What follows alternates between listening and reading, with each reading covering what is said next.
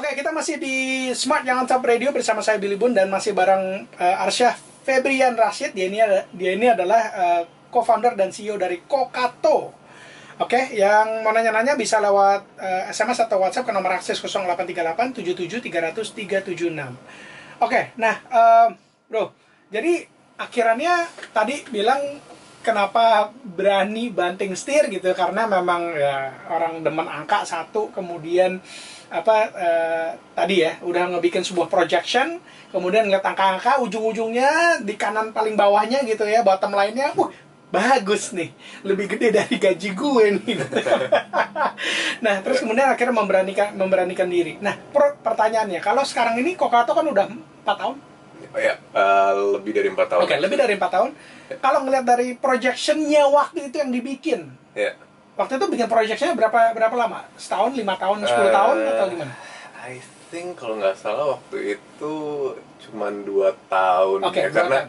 ya itu juga awal-awal I tried to make a you know financial projection yang real business Ah, Oke, financial oke. projection gitu. Jadi nggak nggak mau terlalu pede nariknya gitu. Oke, jadi dua tahun itu. Nah, Ya. masih ingat nggak di dua tahun pertama itu sesuai atau tidak sesuai?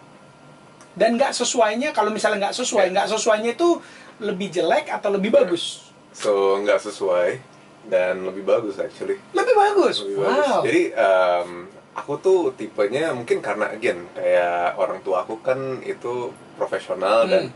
mereka jadinya terhadap uh, hal-hal yang terlalu risky gitu mereka sifatnya lebih Konser- konservatif ya. gitu. Jadi itu pun aku sekarang kalau bikin financial projection segala macam lebih konservatif Hmm. dari mungkin other entrepreneurs yang bisa wah gila nah, angka atau sensitivity-nya ditinggiin gitu segala macam Um, jadi um, I made a rather conservative projections Oke. di mana kita tuh tadinya mungkin perlu raise fund Oke. untuk Kokato ya but then it turns out that kita setelah enam bulan jalan kita udah mencapai uh, operational break even Dalam enam bulan ya, dalam break even ya? bulan, Oke. eh, ya bukan ROI ya. Jadi Ah, ya, ya. operational break even itu artinya Bisa revenue sustain, ya. versus cost itu udah match. Ketutup ya, costnya ketutup operationalnya. Yes. Oke. Um, ROI-nya masih Hmm. bentaran lagi. Uh, so from there on kita langsung mikir, um, oke I don't think we need to raise. Oke. I think uh, things are growing healthily. Hmm. Tapi mungkin nggak yang se-exciting kayak misalkan startup yang di you know inject puluhan Ya. uh, you know uh, Miliar. puluhan miliar segala macam gitu yang bisa tiba-tiba wood gitu Ya, kan ya. ya. Kita we our growth trajectory lebih kayak gini gitu. Hmm. But uh, we agreed me and my partners at that time agreed that okay we, we we realized that selling equity is the most expensive thing that any entrepreneurs can do Hmm. pasti kan ya kita jual ekuitas tuh kayak basically ngejual sebagian dari diri kita gitu Betul. entah itu pergelangan tangan atau Hmm. kaki gitu Hmm. jadi we decided to okay okay let's just do an organic growth Oke. uh, path gitu Oke. Punya berapa mitra? Um, clients. Bukan, eh, Oh, business oh partner, business partners. Co-founder. Um, jadi initially ada kita berempat. Oke. kita berempat. Jadi ini ada story interesting juga sih. Kita berempat terus satu itu um, decided untuk pergi ke salah satu unicorn yang warnanya biru setelah Ya, bikin mikir lagi. Makanya. Oke, oke, oke. Setelah tiga bulan Hmm. setelah tiga bulan bareng kita tapi uh, then again any decisions that my partners took itu aku ngerti karena pastinya mereka behind that kan ada family iya. segala Punya macam. prioritas hidup yang beda-beda Prioritasnya lah pasti. beda-beda Ngerti. mungkin nggak eh, ya mereka jauh lebih tua dari aku well nggak jauh sih Eh, sekitar on average lima tahun lebih tua dari Oke. aku semua Hmm. Jadi pasti prioritas prioritas hidupnya beda-beda. Di mana aku waktu itu ya sendiri aja gitu. Hmm. So yang satu pindah ke salah satu unicorn Iya. yang warna biru, Warna biru. yang satu eh, tetap stay di BCG. Hmm. Um, again karena priority priority matters gitu. Jadi tinggal aku sama partner aku aja. Oke, sekarang tinggal berdua berarti ya. Not even, sekarang aku tinggal sendiri. Serius deh. yes, it's a very sad journey. I've been alone for the last two years. Oh.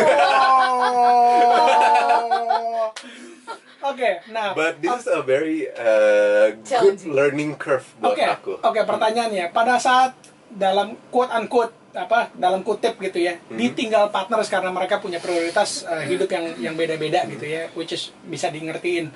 Hmm. Uh, waktu itu punya perasaan yang ya itu pasti ini kan pasti bukan ngomongin cuman sedih doang tapi pasti ada perasaan yang oh my goodness rasanya pernah nggak sih punya pikiran kayak pengen give up yang gitu-gitu atau Oh ya, ya Yeah, I mean nah like- gimana caranya supaya waktu itu terus jalan terus hingga hingga detik ini Iya, kayaknya setiap entrepreneurs pasti ada melewati masa yang kayak aduh udah bottom banget Yes. deh gitu. Kenapa gue ninggalin kerjaan gue yang ya salary-nya so good Iya, iya, gitu iya. segala macam kan. Um, but mungkin yang aku cerita dulu yang dua pertama ninggalin karena mereka itu dari awal dari awal kan. Hmm. Jadi kita belum umur uh, setahun aja mereka emang decided not Hmm. to bareng kita dulu gitu. Jadi itu belum kerasa sih hmm. impactnya Oke. karena oke at least lo uh, dari awal udah wah nggak awal banget tiga bulanan gitu udah menyatakan bahwa you're not gonna ini karena ada priority Oke. ini segala macam Oke. that, that was fun fine Uh, yang paling berat buat aku yang yang dua tahun lalu itu my Hmm. partner my CTO oke itu uh, decided to actually decided to do something else yang sebenarnya aku juga invest di ujungnya oke jadi it's okay dong Jadi ya Ujung-ujungnya okay. kita lebih we try to branch out oke gitu. oke We try to branch out di mana dia jadinya CTO in this other company sama my other partner. Mhm. Um, so they're doing that. Sekarang perusahaannya doing well. Um, di invest sama East Venture segala Mhm. macam. So bikin apa bikin apa so jadi mereka bikin mobility app. hmm. Jadi mungkin kalau di luar negeri kebayang Salesforce, oke tahu ya, Ya, ya. Salesforce.com. ya Jadi eh, mereka bikin Salesforce.com versi Indonesia-nya lah, Oke. gitu.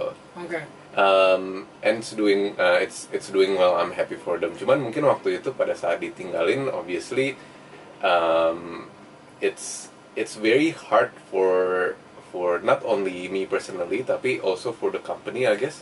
Karena kan pastinya um, it's uh, when when you're running a startup kayak especially kita timnya masih dibil- bisa dibilang cukup cukup lean lah ya. hmm. berapa orang waktu itu Pada saat itu wah less than 20 kali oke ya, less than sekarang 20. berapa Um, less than 30 Oke. masih ya.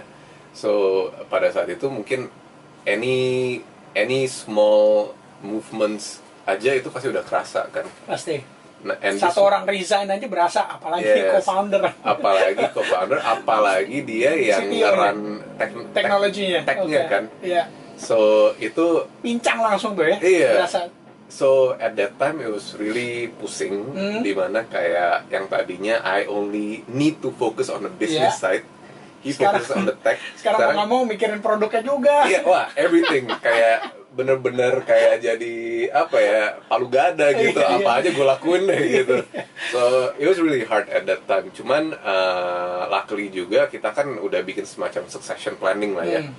karena kita kalau jualan ke corporate mereka pengen tahu banget itu BCP-nya apa Hmm. uh, disaster recovery-nya apa succession planning-nya gimana gitu Hmm, hmm. jadi kita perlu make sure bahwa misalkan sewaktu-waktu knock on wood ya Iya. Nih aku habis dari uh, Smart FM uh, YOT radio tiba-tiba ketabrak apa di luar gitu. At Wah, least beneran. Oke yeah, Oke. at least our clients can be assured that the business will still run gitu. Oke oke. Gitu. So untungnya masih ada buffer dari Hmm. sisi tech. Kita ada senior tech waktu itu yang cukup lah. Oke. bisa dibilang cukup um, untuk uh, maintain uh, the system as Operasionalnya. is and improve a little bit cuman mungkin jadinya pace of Oke. progressionnya lebih pelan aja Oke. gitu Nah tapi kan tapi kan itu kita kita ngomongin dari segi manajemennya, leadershipnya, technical di operational gitu kan. Iya. Tapi sebagai perasaan waktu itu Hmm. ditinggalnya itu terus kemudian yang tadi bilang, oh my god gitu, apa pasti kan ada terlintas sedikit banyak punya keraguan yang can I do it alone gitu. Selama Yes. ini mungkin gua, eh, saya punya teman punya teman curhat, punya teman tukar pikiran, brainstorming bareng dan seterusnya dari Yeah. awal gitu. Waktu itu apa yang bisa membuat seorang Arsya tetap gue tetap mau jalan terus. Oke, simpan dulu, kita break dulu, don't go anywhere.